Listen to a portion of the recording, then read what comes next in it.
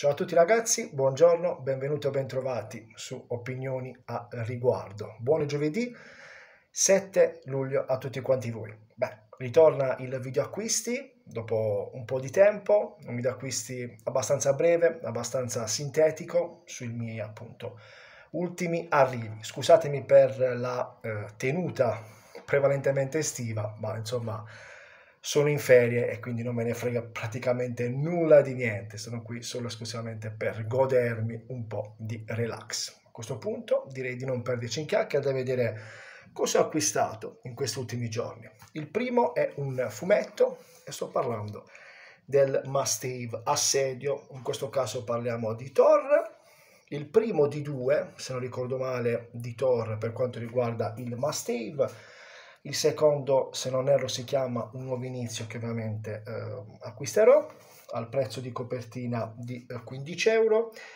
Brian Bendis e Oliver Kuiper, insomma due nomi che eh, non è la prima volta che li sentiamo. Interessante, come sempre, io sono pazzo, eh, innamorato pazzo di Thor, quindi qualsiasi cosa esce sul dio del tuono deve far parte della mia collezione. Guardate questa Spence Fish bellissima ragazzi. Il fumetto americano è tanto bizzarro quanto straordinario nei disegni. Non vedo l'ora di leggerlo. Mm, non sarà la mia prossima lettura ma perché ho già qualche ritratto da fare però insomma a breve ne sentirete parlare. Ecco a voi assedio Finiamo con i fumetti, passiamo ai libri. Il primo è quello di Hoel Dickel, eccolo qui, mattone gigantesco da Euro 22, uscito qualche mese fa, il caso Alaska Sanders, dall'autore di La verità sul caso di Eric Beck, è il libro dei Baltimore. Eccolo qui, una, un mattone da quasi 600 pagine, ne ho sentito parlare eh, sul tubo e sui vari forum di questo giovanissimo autore, già abbastanza famoso.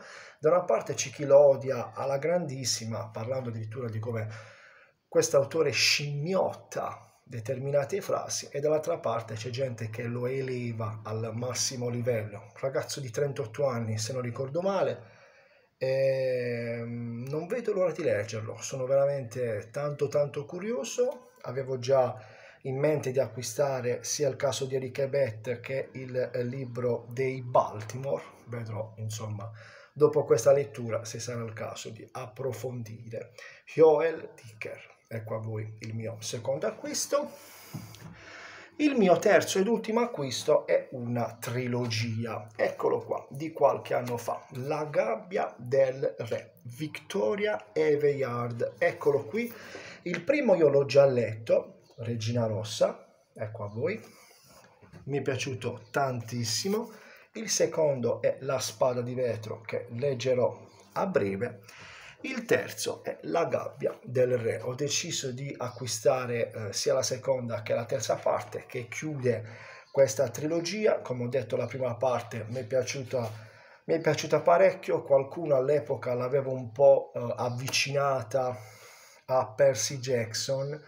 Eh, trovo qualche similitudine, devo essere sincero, però a mio modo di vedere la qualità di eh, la caratterizzazione dei personaggi, la qualità della storia da parte di Victoria Aveyard, a mio modo di vedere, la fa sembrare una storia eh, originale. A me il primo è piaciuto, come ho detto, eh, non vedo l'ora di leggere Spada di Vetro per poi appunto concludere con Gabbia del Re.